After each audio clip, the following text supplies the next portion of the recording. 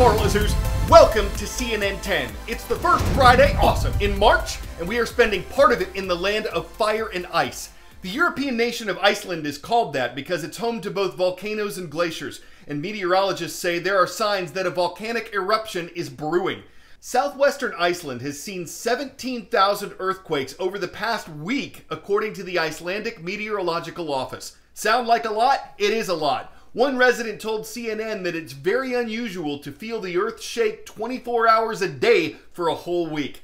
The largest of these tremors had a magnitude of 5.6. That's considered a moderate quake, depending on how deep it is. There have been some small cracks in the roads and rock falls where the ground is steeper, but aside from that, not a lot of damage has been reported. The tremors seemed to calm down from Wednesday to Thursday, but a government official doesn't think the seismic activity is over. And while scientists don't know exactly what's caused this swarm of quakes, a University of Iceland volcanology professor thinks they might be because there's been a quote, intrusion of magma into the Earth's crust in southwest Iceland. This is where several volcanoes are located, and it's especially concerning because two thirds of the country's population lives in the southwestern part of the island. University computer models predict that if there's an eruption, the resulting lava flows probably won't impact any nearby towns or the region's international airport. But again, that's only based on models. All this has triggered a range of reactions from people there, from anxiety to excitement, and cameras have been put on standby to live stream an eruption should one take place. Ah! Number one, an earthquake occurs when two blocks of the earth slip past each other. Now, for most of the time, those blocks are together with friction, but they are building up energy because they are moving in different directions. When one block decides to slip, all of a sudden that energy is released by seismic waves, kind of like ripples on a pond, creating the earthquake.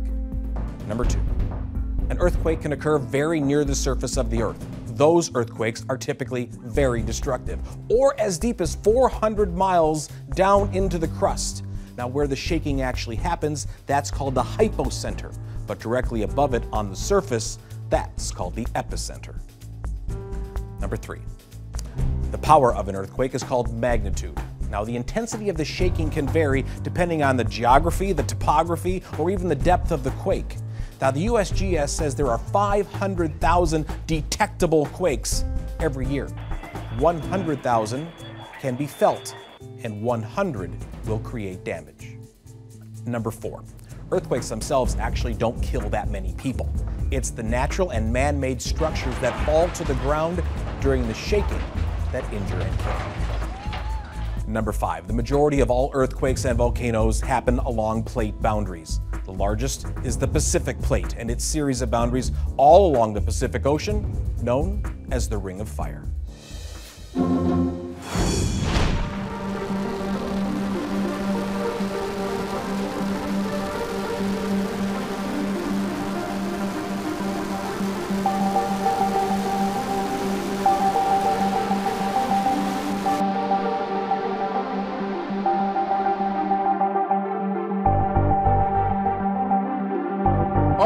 Oh, god, it just blew up. It just blew up. It just blew up. What? What?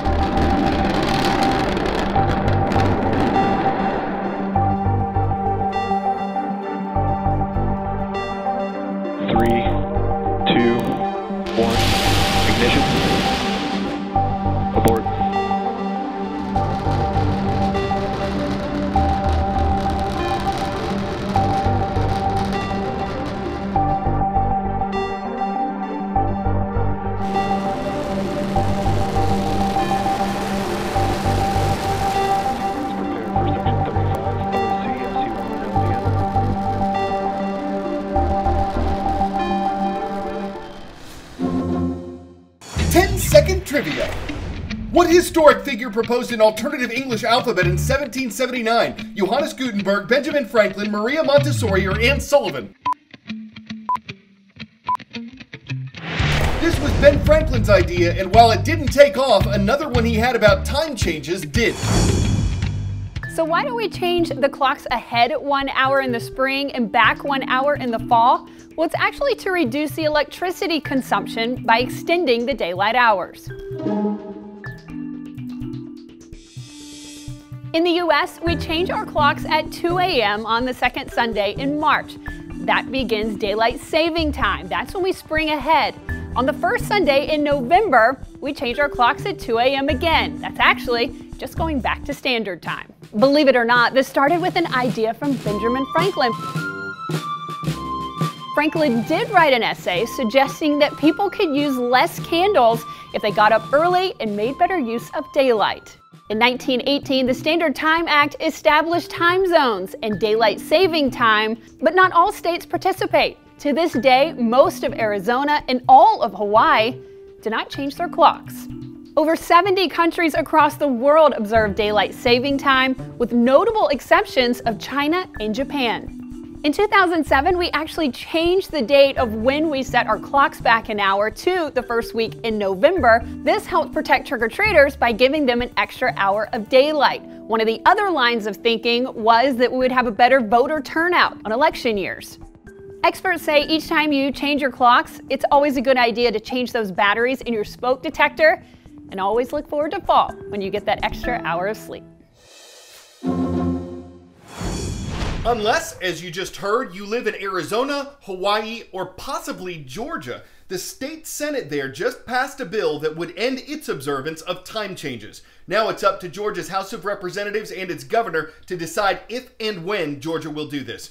Those who want to end the time changes say they're bad for our health, that they disrupt our sleep cycles and cause a number of other health problems.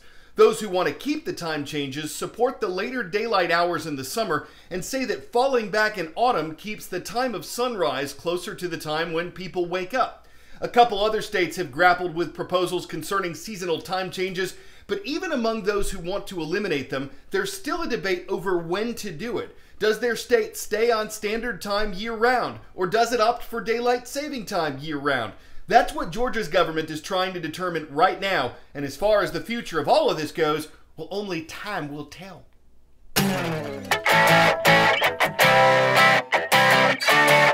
While we're on the subject of time, if you want to have a lot of it, doctors say staying active is key. It improves your balance and brain health. It helps ward off diseases. A crossing guard in South Carolina has found a way to follow this advice and keep working well into her 90s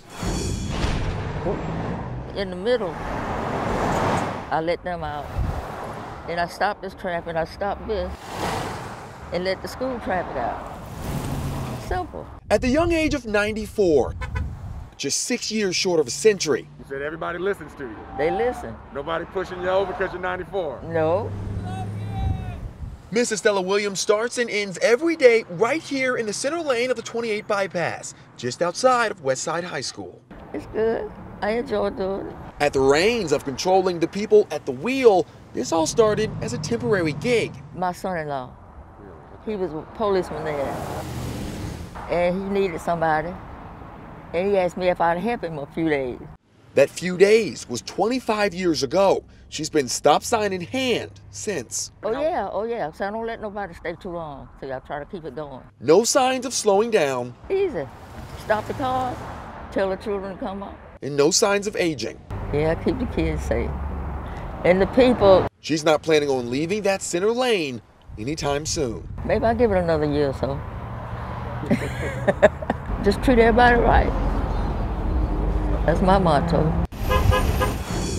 Will she ever stop and go do something else? Why cross that bridge? She's keeping things in motion, minding her busness, helping people cross while never being crossed, all in all, she's doing a guard job one step at a time of helping people from all walks of life stay off the street.